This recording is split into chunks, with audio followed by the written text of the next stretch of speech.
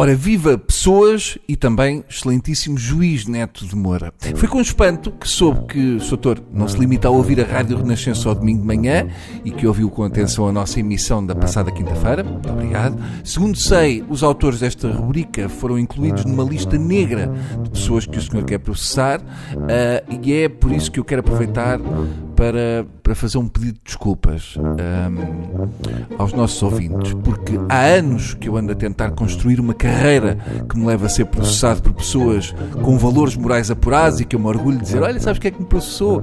E, e acabo processado pelo juiz Neto de Moura. Merecíamos todos melhor, mas enfim, temos de ser fortes. Mas atenção, antes fazer parte da lista negra deste senhor do que da lista violácea de mulheres agredidas por maridos, amantes ou ex-maridos e ex-amantes tiveram de passar pelas suas mãos em decisões e acórdãos tomadas por Vossa Senhoria em tribunal. Senhor Juiz, queria também aproveitar para dar-lhe os parabéns pela escolha do seu advogado, bem jogado. Nada melhor do que escolher para o defender de supostos insultos escritos ou proferidos em programas ou redes sociais. Uh, e já agora tapa os ouvidos do Dr. Juiz, porque apesar de ter os tímpanos inteiros, já percebemos que é extremamente sensível a certo tipo de linguagem.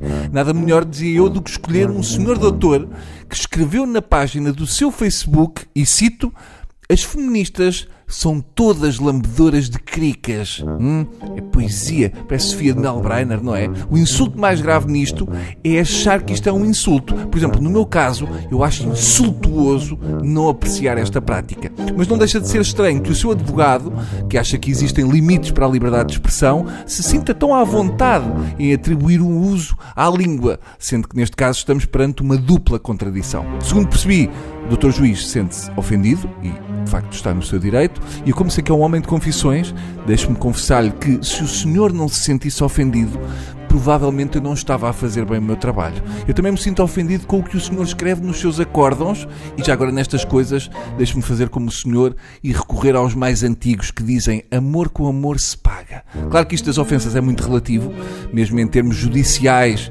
posso recorrer a um recente acórdão onde, além do senhor não ter considerado grave uma mulher ser agredida a soco pelo ex-marido ao ponto de ter ficado com um tímpano furado, acrescenta, como factos de pouca gravidade, as ofensas verbais e ameaças. Sendo assim, como vê, eu sinto-me defendido pelo seu próprio acórdão. Para mim é uma total surpresa descobrir que um juiz que desvalorizou agressões a uma criança de 4 anos e respectiva mãe, afinal tenha também a sensibilidade. Um homem forte de toga sente-se magoadinho por palavras ditas num tubo de ensaio, como se isso pudesse causar mais trauma num ser humano que uma mulher atingida várias vezes pelo marido e ex-amante com um pau com pregos. Aparentemente, para Neto de Moura, a dor e a humilhação manifesta-se mais no ser humano quando lhe beliscam o ego do que quando agridem a soco uma mulher.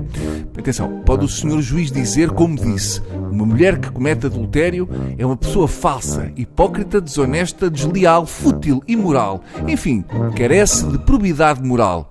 Exato. Eu também posso dizer que um juiz que trai o Código Civil e usa o preconceito da Bíblia e até leis de 1886 não tem qualquer probidade moral, nem para ser juiz, quanto mais para dar lições de moral, seja a quem for. A Associação de Juízes acha que enxovalhámos o Dr. Neto Moura, quando basicamente quase só fizemos citações do acórdão. Portanto, está tudo dito. Eles de facto têm razão. Aliás, usando a lógica do Dr. Neto de Moura, teríamos que arremessar o senhor juiz à bruta a uma mulher adulta e aí estávamos a cumprir a lei a rigor. Manuel Soares, presidente da direção da Associação Sindical dos Juízes Portugueses, já se manifestou e nota-se que de facto tem o dom da palavra porque disse, e cito, um juiz também tem direitos. Não é apenas um saco de pancada. Pois não, não é. Já uma mulher Aguente-se.